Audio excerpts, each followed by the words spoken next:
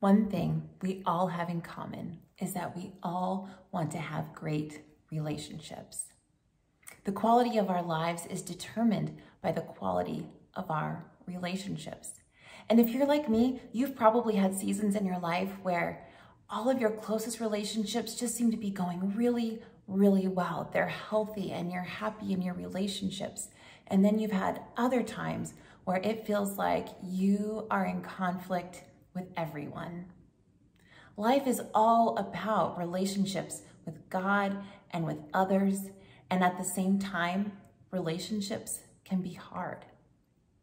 When two people come into relationship with one another, they're each bringing an entire life's worth of experiences, hurts, pains, anxieties with them into the relationship. And each of these things, each of these hurts, anxieties, insecurities, these are like tiny little pebbles that we collect in an invisible backpack that we carry around on our backs all the time.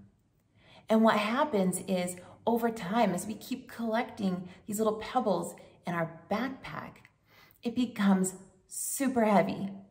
And when it is so hard to love and to care for and to serve someone else, when we're carrying around our own heavy bag of rocks. It makes me think of my son who just started junior high and he has to carry his backpack around from class to class during the day. And that backpack has got to weigh at least 30 pounds. I hate seeing him carry this thing around because he puts it on his back and it's like he's leaning forward just to balance out the weight of this heavy backpack.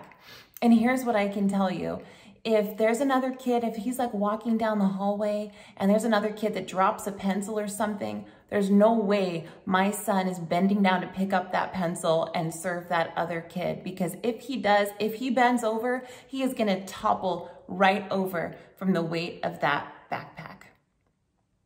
And maybe the same is true for you. Maybe you want to have healthy, thriving relationships where you can give love and receive love and give and serve with someone else. But it's hard because you're carrying around this heavy bag of rocks on your back. If that's you, I want to encourage you today with Jesus' words. We're going to be looking at John chapter 13, verse 34. And here's what's happening in that scene. Jesus is gathered together with the disciples. This is actually their last gathering that they'll have together before Jesus is arrested and crucified. And so he knows this is his last chance to be with them together. And so he is modeling this amazing act of service and he's kind of hitting all of the major things he really wants them to do and to remember.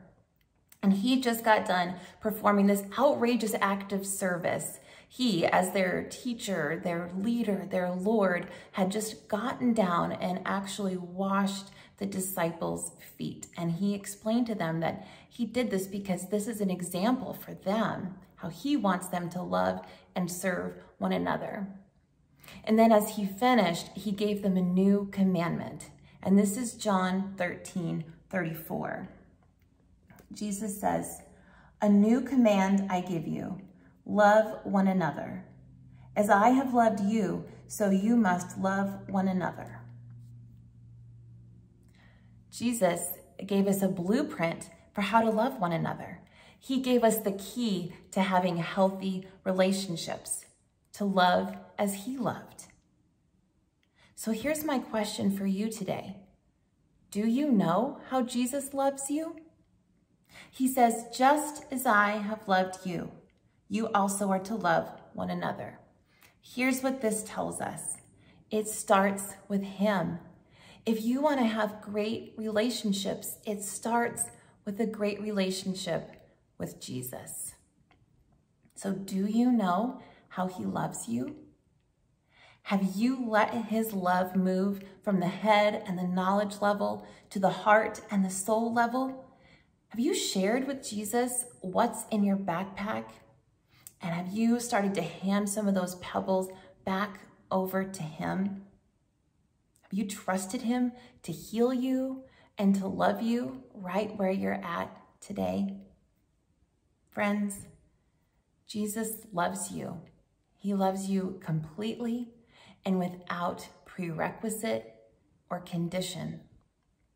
He knows you fully and he wants to be close with you. He loves you enough to serve you and to die for you.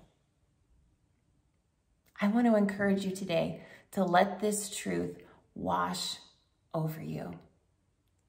Let his love overwhelm you. And here's what will happen. As you lean more and more into Jesus and his love, his strength, his grace, his healing and forgiveness, that bag of rocks that you're carrying on your back will become lighter and lighter. And you will become freer and freer to love others the way that Jesus taught, with a heart of service and others first. This is what the Christian life is all about. Learning to receive the love and the mercy and the grace of Jesus and then giving that love away to others. He works it in and we work it out. So friends, let him work it in. Choose to receive it and watch what Jesus will do in your relationships. Let's pray together. Jesus, thank you for who you are and how you love us. Thank you for giving this giving us this incredible example of what love is and how to love one another. Jesus, I pray that today your love and your mercy and your grace would fill us and overwhelm us so that we may go on to give that same love away to others. Lord, I pray that you would bless our relationships and guide us today as we love others well. It's in your name I pray. Amen.